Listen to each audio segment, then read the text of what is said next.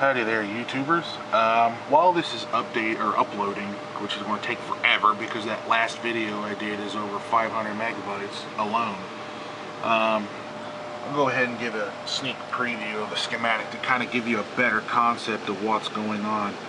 So, there is the the 483 on the driver board along with the serial direction register or well the serial direction control line that way because this 485 is not duplex okay? It's not you know it's not full duplex it's half duplex so you have to have you know the the direction control. And there's the termination resistor which is only used on the driver board at the end of the chain because it's RS485 so there's the, the unique circuit here, the 555 timer.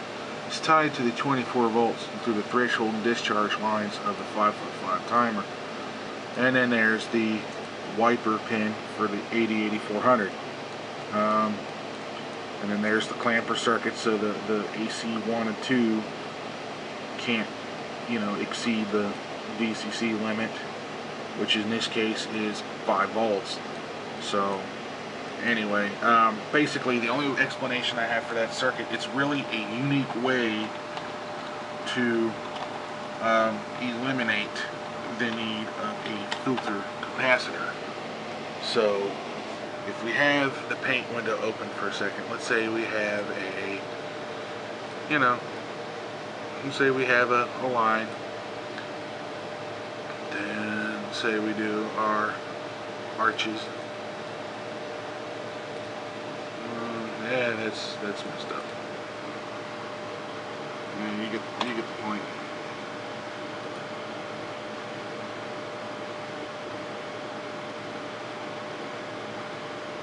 See if I can do this real quick.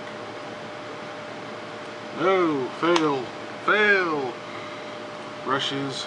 Let's try this a different way. so let's say you have your 120 hertz pulse coming through. Well, the PWM circuit is in synchronous with that pulse. So what you have is a pulse width, you know, of somewhat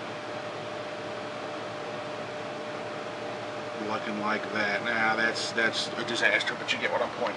Uh, my point is that's the output coming from the timer into the uh, the 7400 AND gate well, NAND gate because the Atmel can actually turn off the output of the digits with that NAND gate. Um, so what we have is the pulse width going to the output chips, which since it's going to NAND, it's going to be inverted, but you get the idea because the chips are actually, um, their uh, output enable is inverting anyway, so um, anyway, so what we have here is the on time of the chip is here and here. That's the time that the chip is actually turned on. The outputs of the chip are turned on.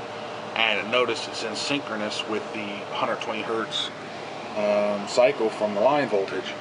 That way you can eliminate beats and you can eliminate the requirement of a filter capacitor on the LED load supply line, which is what that is. It's what the 24 volts is for because the rest of the circuit, if you've seen in the previous video, is powered by a separate transformer.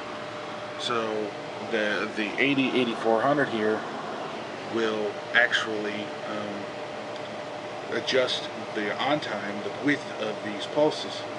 So that way we can actually take that and we can narrow it up so the LEDs don't appear as bright. So it gives you brightness control, but it also gives you a current control of the LEDs.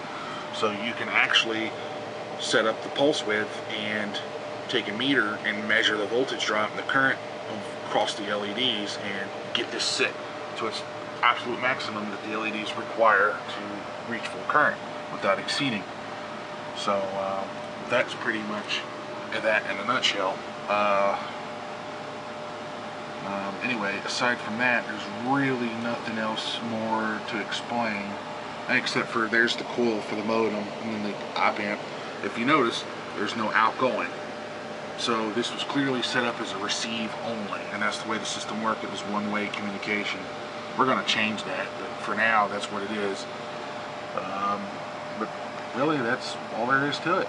So stay tuned and thank you for watching.